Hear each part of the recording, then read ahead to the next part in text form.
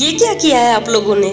इतनी ज़्यादा वायरल करा दी किचन वाली वीडियो कि अब तक मेरे पास इतने सारे ऑर्डर्स आ रहे हैं। गुजरात से एमपी से, उड़ीसा से और आसाम से भी। थैंक यू सो मच इस रिस्पांस के लिए। तो आज जो मैं किचन का अल्फ़ाबेट लेके आई हूँ ना, ये थोड़ा सा अलग है।